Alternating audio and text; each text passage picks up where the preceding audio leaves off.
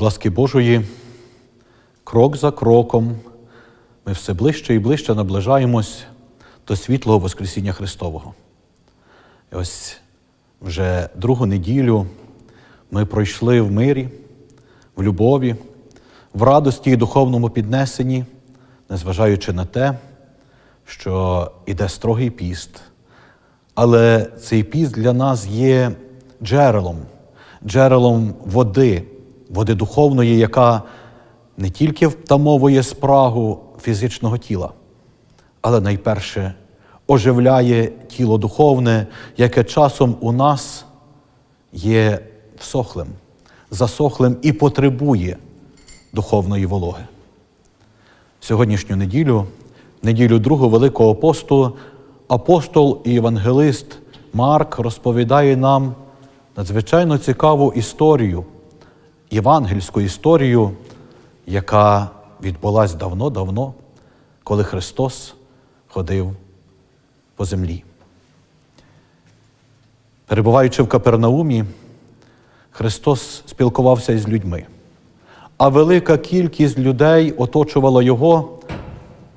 Христос же перебував в домі, і люди не тільки наповнили весь дім, але і довкола дому, відкривши вікна, слухали слова Спасителя. А перед цим відбулася одна цікава подія, коли Христос із учениками зайшли в синагогу і побачили чоловіка, який мав признаки прокази. І чоловік цей підійшов до Христа і сказав: Якщо хочеш, Господи, зціли мене. І Христос сказав, хочу. І хвороба відійшла від чоловіка. Чоловік очистився. І Христос звелів нікому не розповідати про те, що сталося, але чоловік не міг втаїти своєї радості і всім розголосив про те, що відбулося із ним. І ось велика кількість людей знову пішли за Христом. Але що сьогодні розповідає нам Євангеліє? Про людей, про людей, які на ношах несли паралізоване, розслаблене тіло чоловіка, людини, яка не могла поворох... поворухнути ані рукою, ані ногою. І ось ці люди взяли ноші із лежачим тілом і понесли до Спасителя. Але не могли війти в дім, бо ніхто пропустити їх не хотів, а велика кількість людей оточували дім. І ці люди виносять тіло на покрівлю, розбирають покрівлю і опускають ноші перед очі Спасителя. Часом у храмах ми бачимо, коли приходять віруючі люди і подають записочки за здоров'я. І вказують там чи записують там своїх рідних, близьких, родичів, друзів, знайомих і подають на молитву. Часом ми самі стаємо до молитви і молимось за своїх дітей чи за своїх батьків, за своїх дружин чи дружини за чоловіків. І ось як можна ці речі пов'язати із речами сьогоднішнього Євангелія? Ось ці чоловіки, люди, друзі цієї розслабленої людини, цього розслабленого, паралізованого чоловіка, можна сказати, звершили молитву. Не знаємо, чи хотів цей розслаблений, щоб його несли, чи вірив він в це. Але в це, що він стане зціленим, вірили ті люди, які його несли до Спасителя. І ось Христос, побачивши це розслаблене тіло, сказав йому: прощаються тобі гріхи твої. Знову ж таки, чому Христос звертає увагу на духовний стан, на прощення, на очищення духовне? Бо без очищення духовного часом неможливо очищення фізичного. Просто фізичне тіло інколи не, не зможе боротись із хворобою через те, що душа, душа є темною, грязною, неочищеною. І тільки очистившись духовно, бачимо також багато випадків із сучасного нашого життя люди отримують зцілення, зцілення тілесне. А так і між цими людьми було багато фарисеїв, які стали нарікати. Чому Христос богохульствує? Це ж хула на Бога, хто може прощати гріхи? Гріхи може прощати сам Бог. І начебто вони ставили питання, але цими своїми питаннями самі ж собі відповідали.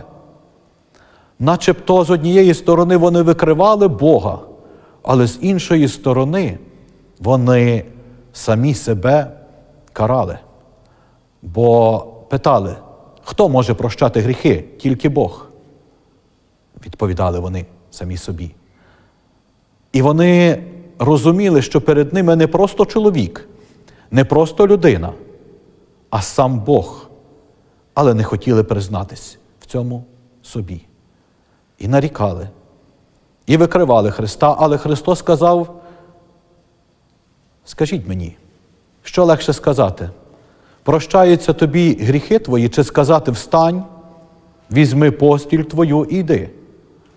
І Христос звертається до розслабленого і говорить: Встань, візьми постіль твою і йди. І ось цей розслаблений, паралізований чоловік встає з ложа. Він бере ті ноші і несе їх. Тим самим соромлячи тих, хто ще недавно викривав Спасителя.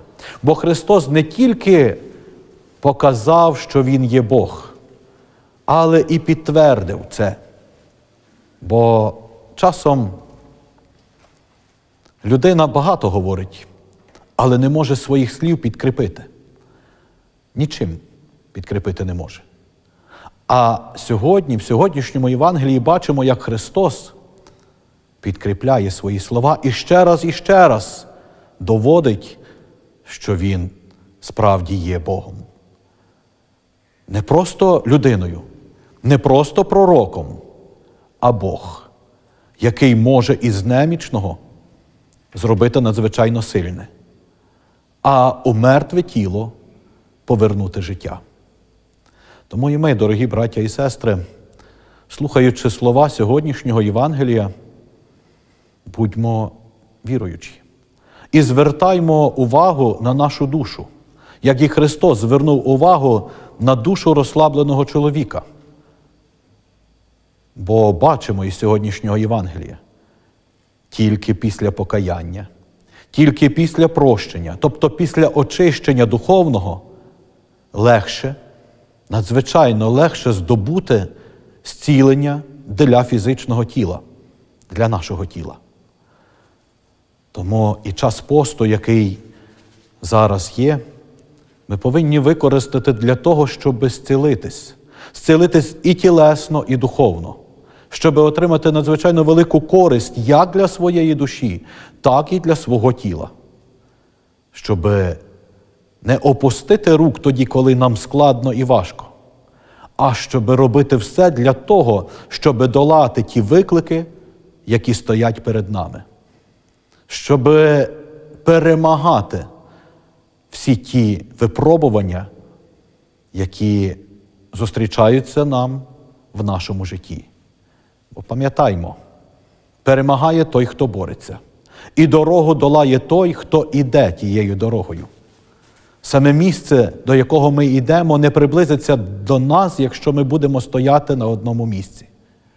Тільки той, хто йде здобуває і долає дорогу. Так, дорога може бути різною.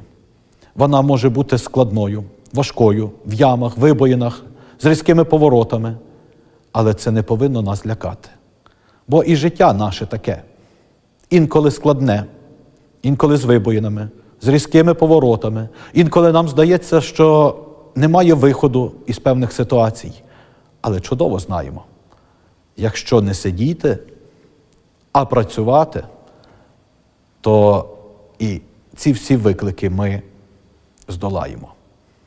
Хай Господь допомагає нам в цьому, щоб ми відчували, що Він є поруч із нами, а Він є з нами. Навіть тоді, коли ми відходимо і думаємо, що все, ми самі в цьому світі. Насправді ми не самі. З нами завжди Бог. А з Богом легше долати шлях і легше здобувати Царство Боже. Хай допомагає нам цьому Бог миру, добра і Божого благословення для всіх нас і для нашої рідної України. Помилуй нас,